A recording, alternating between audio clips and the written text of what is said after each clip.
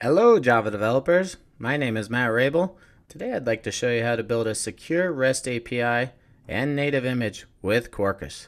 Let's giddy up!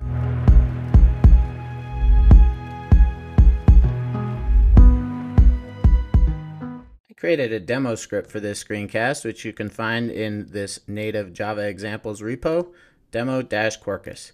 And it uses Asciidoctor, so I have a handy dandy Asciidoctor plugin I can use here and we'll just build a simple REST API that returns the user's information. We'll use a JWT or an access token to access it, and then I'll compare its performance with other frameworks like Micronaut, Spring Boot, and Helidon. And we'll go ahead and ensure that we have SDKman from sdkman.io, and then HTTPI, E, HTTPie is how you're supposed to say it, and then the Okta CLI. And if you don't have the Okta CLI, you can get it from CLI And as we're going through this, there are some times when I will type a bit of code and it spits out a bunch of code. So those are using IntelliJ Live templates. You can find mine on GitHub at mraible slash idea live templates. And you'll need SDK man to install Java 17 with GraalVM. So SDK install Java there. And uh, if you're using a different version and you're using SDK man, you can just do SDK default Java and then that version number. So 221 is the first version that works on the M1s, and I'm using an M1 to record this.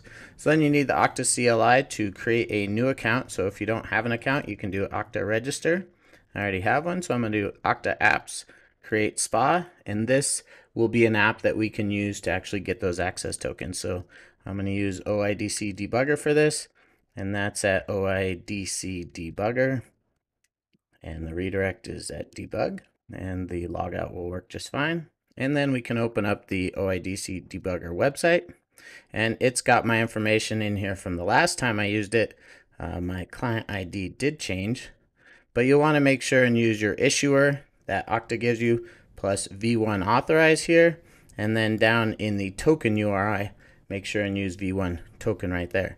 Check code, check use PKCE, PKCE proof key for code exchange and hit send request. And then we get our access token back and we can go ahead and set that here in our terminal.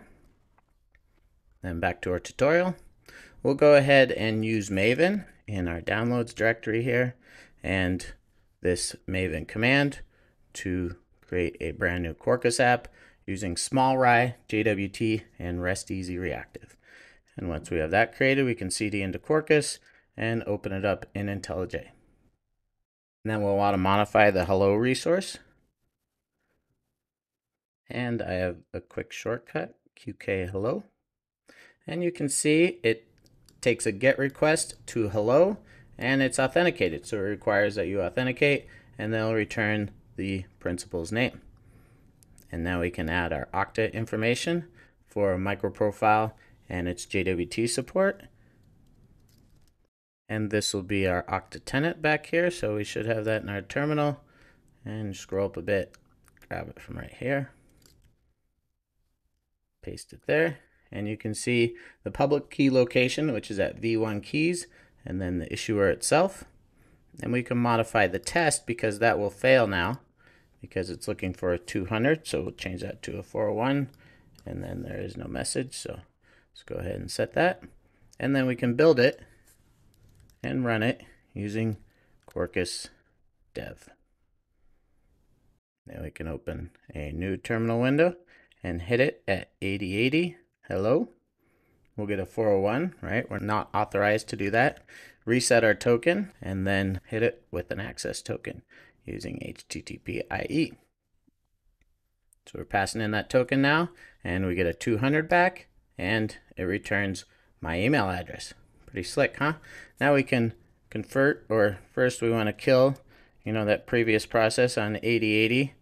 Make sure it's down, sure enough, and then we can uh, package as a native application.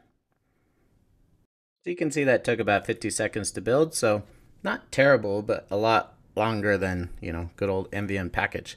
So now we could start it up using target, and it'll be Quarkus 1.0.0 snapshot runner. And that started in 21 milliseconds.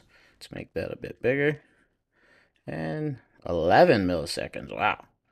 Try it again, and 13 milliseconds. So pretty quick, right? 11, 13, like awesome. We can look at the startup time comparisons for the various frameworks. So what I did here is I started each one three times and then I ran it five more and I took the average of that. So this is on a MacBook Pro Intel, which I think was from 2018, 64 gigs of RAM, like, you know, as fast as they were on Intel. And you can see Quarkus starts in around 20 seconds. So 19 seconds, Micronaut 30 seconds, Spring Boot almost a minute, or not a minute, but 60 milliseconds. So these are all milliseconds, not seconds. Sorry about that. And then I did some memory usage comparison. And you'll see that, you know, Quarkus, when it first starts up, uses 23 megabytes. Uh, after the first request, it's 34. And then after five requests, it only increases a couple megabytes. So that's pretty awesome. And then I also did it with my M1 Max, which I'm recording this on.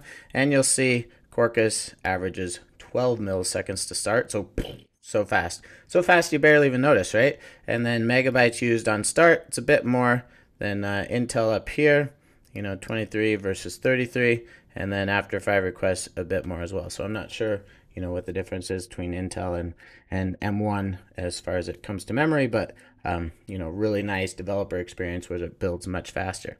And we've also built this into the Okta CLI. so if we were to go to downloads here and just create a temp directory, you can do Okta start Quarkus and it'll create an app for you on Okta, an OIDC web app, and configure it to you know work with Quarkus and then tell you what to do. So pretty slick, right? And then you can find all this examples code on GitHub here. You know, it uses uh, Quarkus 290 there. And then, of course, the blog post that this originated from, build native Java apps with all of these frameworks. So I hope you've enjoyed this screencast today. You can find me on Twitter at mraible. You can find my team on Twitter at Oktadev and subscribe to our YouTube channel so you can get more cool content like this. Thanks. Have a great day.